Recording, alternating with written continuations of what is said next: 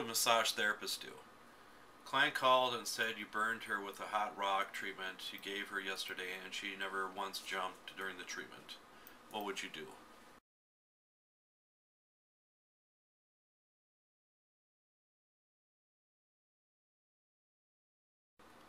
The main thing is never admit blame, of course, and um, just make sure you contact your liability insurance company explain uh, what actually happened with that. But you want to make sure you document everything possible, saying that they never jumped or never complained it was hot at all. But the main reason sometimes people can get burnt is if they've had like a severe sunburn in the past, and um, when they had the severe sunburn in the past, it you know, kills nerve ending and nerve sensation.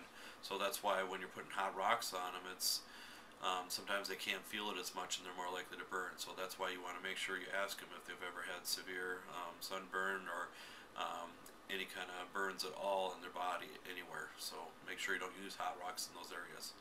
And leave in the comments in the section below. Thanks.